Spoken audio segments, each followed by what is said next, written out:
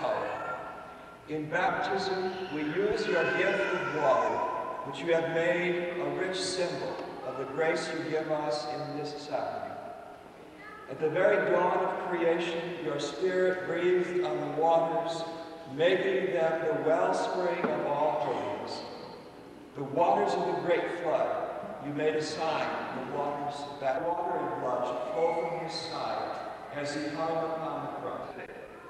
See that the divine life which God gives them is kept safe from the poison of sin, to grow always stronger in their hearts.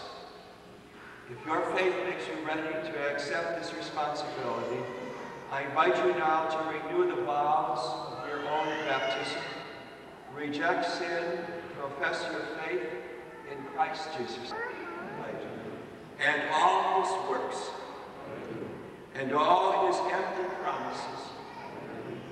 you believe in God, the Father Almighty, creator of heaven and earth?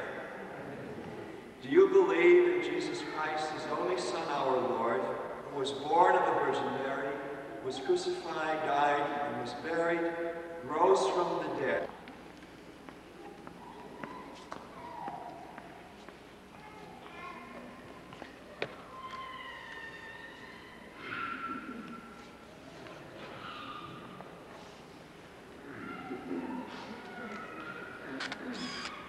Leandro Christopher, I baptize you in the name of the Father, and of the Son, and of the Holy Spirit.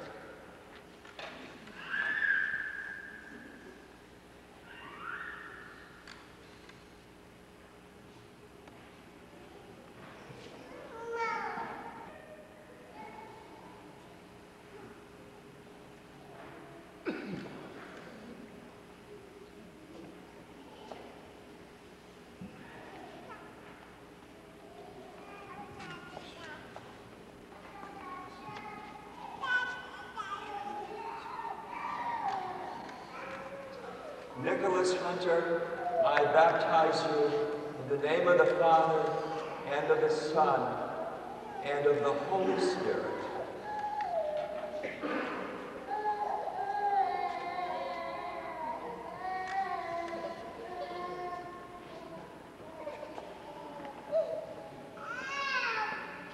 Jake White,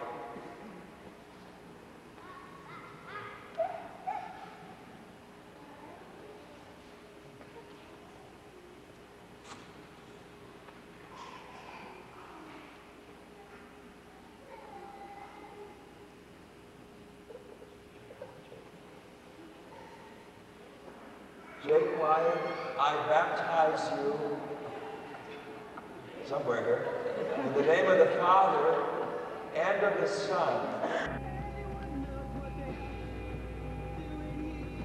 Okay.